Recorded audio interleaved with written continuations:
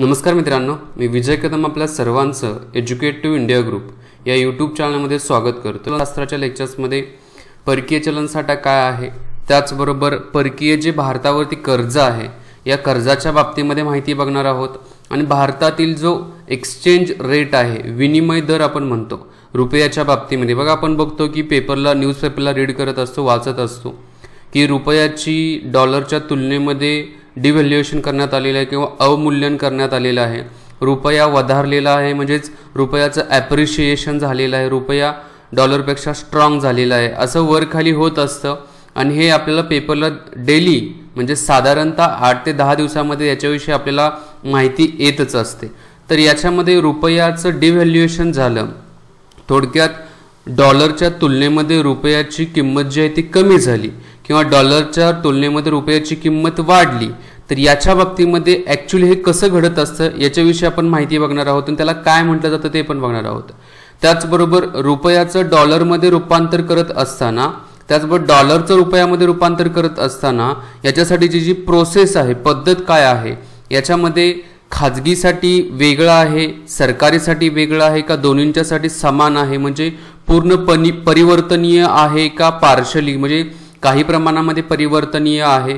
तर हे जे मुद्दे आहेत याच्याविषयी आपण माहिती बघणार आहोत. आता तुम्हाला हे सगळे मुद्दे जे वाटत आहेत थोडे जडजड वाटत आहेत ठीक आहे मी हे सोपे करून सांगण्याचा प्रयत्न करेन मी तुमच्यापर्यंत पोहोचवण्याचा प्रयत्न करेन. तर चला आपण चालू करूया. चालू करण्यापूर्वी एज्युकेट टू इंडिया ग्रुपचं टेलिग्राम चॅनेल आहे. टेलिग्राम चॅनेल जॉईन करा. म्हणजेच आजपर्यंत झालेली सर्व लेक्चर्स तुम्हाला भेटतील. राज्यशास्त्र अर्थशास्त्र या सर्वांची लेक्चरची लिंक खाली डिस्क्रिप्शन बॉक्समध्ये देईल. त्याचबरोबर इतिहासाची पण लेक्चर सिरीज काही लेक्चर्स कंप्लीट झालेले आहेत त्याचीही लिंक खाली देईल. त्याचबरोबर आणखी महत्त्वाचे महत्त्वाचं आणखी काय आहे तर सरकारी योजना असतील. त्याचबरोबर सरकारच्या महत्त्वाच्या समित्या कोणत्या कोणत्या बसलेल्या होत्या? कोणत्या व्यक्तीने कोणती पुस्तकं लिहिली होती? टू द पॉईंट मुद्दे मी घेतलेले आहेत. सर्वांच्या लिंक खाली डिस्क्रिप्शन बॉक्समध्ये मी देईलच. बाकी एज्युकेटिव्ह इंडिया ग्रुपमध्ये तुम्हाला सर्व सापडतीलच. डोंट वरी अबाउट दॅट एकदम व्यवस्थित सापडतील. तर चला आपण चालू करूया. हे जे मुद्दे आहेत या मुद्द्यामधील पहिला मुद्दा जो आहे तो परकीय चलन साठा आपण बघणार आहोत. याला फॉरेक्स रिझर्व्ह असं म्हटलं जातं. आता हा फॉरेक्स रिझर्व्ह जो आहे हा परकीय चलनसाठा जो आहे परकीय चलनसाठा का एवढं महत्वाचं आहे इम्पॉर्टंट आहे? लक्षात घ्या हे पण मला सांगावंच लागेल कारण याचा फायदा काय असतो? आणि जेवढा जास्त परकीय चलनसाठा असेल त्याचा फायदा काय असणार आहे? हे तुम्हाला माहिती असणं गरजेचं आहे कारण ही कॉन्सेप्ट बेसिक आहे माहिती असायलाच पाहिजे. इथं बघा मी प्रश्नच लिहिला आहे का परकीय चलनसाठा महत्त्वाचा आहे? का महत्त्वाचा आहे? भारत प्रत्येक वस्तू किंवा प्रत्येक सेवा स्वतः भारतामध्ये तयार होत आहे का? नाहीये. काही वस्तूंची आयात करावी लागते. ओके? आपल्याला माहिती आहे आपण मागच्या लेक्चरमध्ये बघितलं आयात निर्यातीची कॉन्सेप्ट काय असते ती. आता परकीय देशातून जर भारत आयात करत असेल तर आयात करत असताना इथं रुपयाच्या आधारावरती आपण परकीय देशातून वस्तू खरेदी करू शकतो का? नाही करू शकत. उदाहरणार्थ आपल्याला अमेरिकेमधून आज जर विचार केला तर अमेरिकेतून आपल्याला व्हेंटिलेटर्स आणायचे आहेत.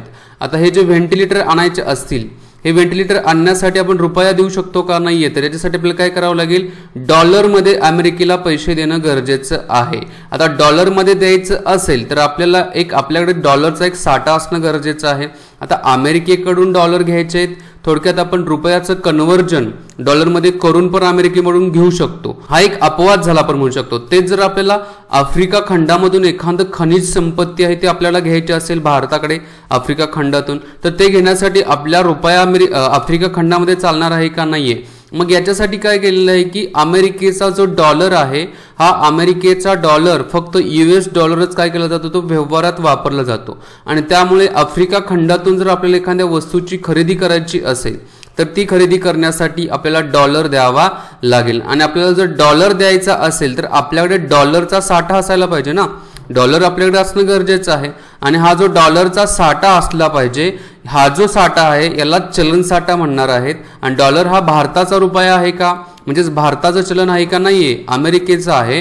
म्हणजेच परकीय चलन आहे. म्हणजेच इथं आपल्याला कळलं की परकीय चलन साठा हा परकीय देशातून आपल्याला वस्तूंची जर आयात करायची असेल अत्यावश्यक वस्तूंची त्यावेळेला परकीय चलनसाठा असणं गरजेचं आहे.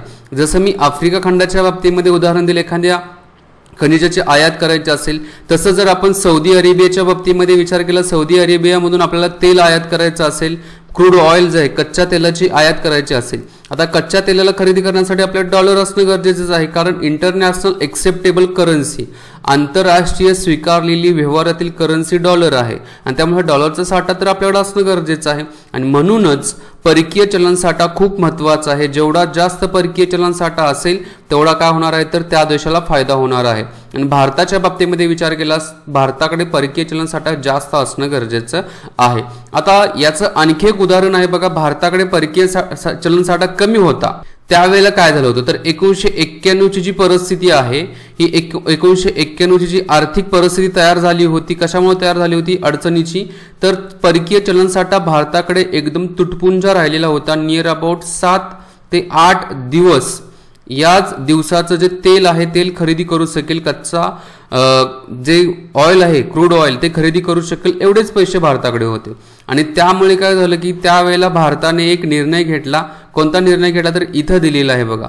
भारताने एकोणीसशे एक्क्याण्णवमध्ये एल पी जीचा स्वीकार केला.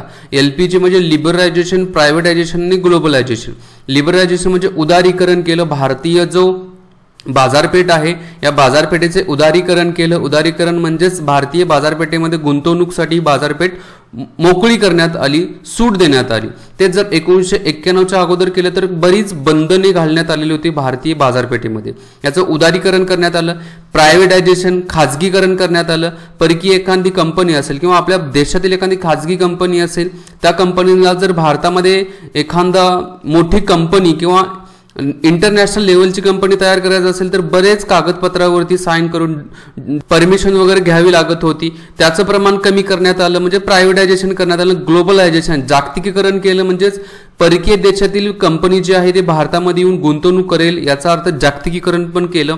आणि याच्यातून काय होईल? उदाहरणार्थ अमेरिकेतील जर समजा ॲपल कंपनी आहे ॲपल कंपनीने जर भारतामध्ये गुंतवणूक केली गुंतवणूक करताना ती डॉलरमध्येच गुंतवणूक करणार आहे ना? आणि हा जो डॉलर जो भारताला भेटणार आहे हा परकीय चलनसाठ्यामध्ये ठेवता येणार आहे. आणि त्यामुळेच एकोणीसशे एक्क्याण्णव नंतर भारत सरकारने काय केलं की या एल पी जीचा वापर केला उदारीकरण खाजगीकरण जागतिकरणाचा वापर केला आणि याच्यातून हळूहळू परकीय चलनसाठा भारताला भेटू लागला. म्हणजे इथं जे दिलेले तीन प्रश्न आहेत किंवा तीन मुद्दे आहेत हे आपल्याला एकदम समजले व्यवस्थित. समजले नसतील तर व्यवस्थित पुन्हा एकदा समजून घ्या. परकीय चलनसाठा का महत्त्वाचा आहे ते आपण बघितलं. एकोणीसशे एक्क्याण्णवची आर्थिक अडचणीची परिस्थिती का निर्माण झालेली होती? कारण परकीय चलनसाठा कमी होता आणि त्या आधारावरती एकोणीसशे एक्क्याण्णवला उदारीकरण जागतिकीकरण आणि खाजगीकरणाचा स्वीकार करण्यात आलेला होता. आता आपल्याला कळलं हे मुद्दे. आता जागतिक व्यवहार जो आहे या जागतिक व्यवहारामध्ये परकीय चलन साठ्याचा खूप महत्त्वाचा रोल असतो. आणि याचं उदाहरण आपण इथं बघितलेलं आहे. अमेरिकेकडून व्हेंटिलेटरचं उदाहरण बघितलं. त्याचबरोबर दुसरा मुद्दा जो आहे तो आफ्रिका खंडातून आपल्याला खनिज काहीतरी घ्यायचं असेल.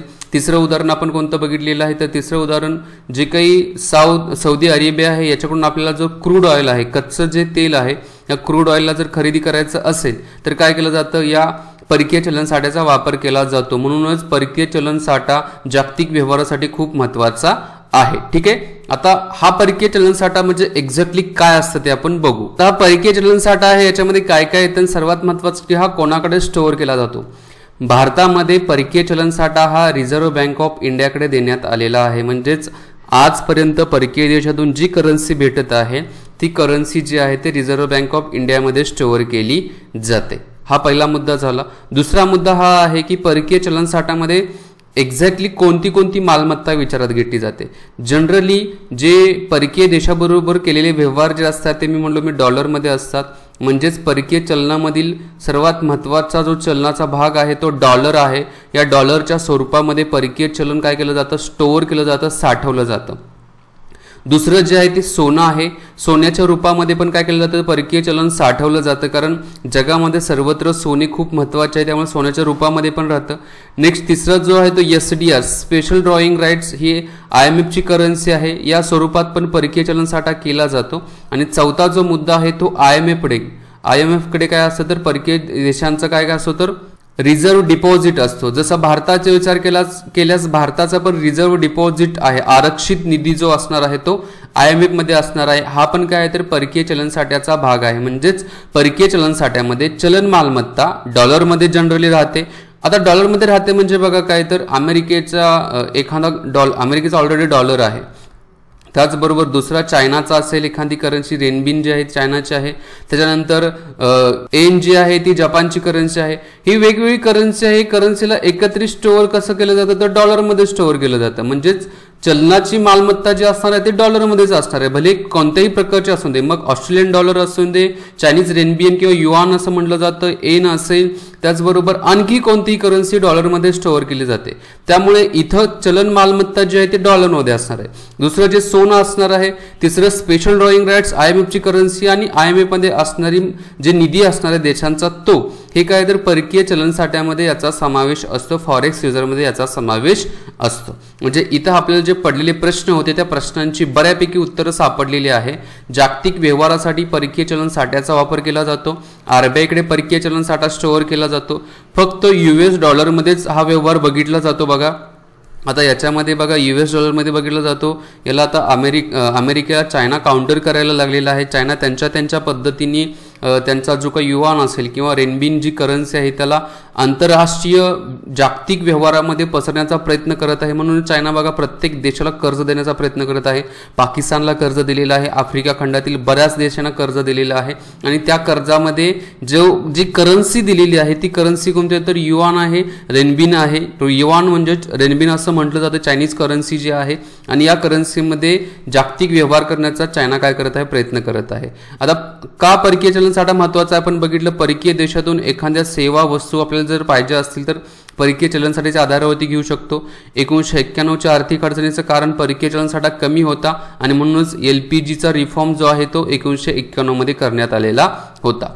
आता आजची परिस्थिती विचारात घेतल्यास आज परकीय चलनसाठा जो आहे भारतातील. रिझर्व्ह बँक ऑफ इंडियाचं स्टेटमेंट आहे. आरबीआयचं आजचंच बघा मी आज तीन एप्रिल म्हणत आहे ना आजच्या त्री तीन एप्रिल दोन हजार वीसचं हे स्टेटमेंट आहे.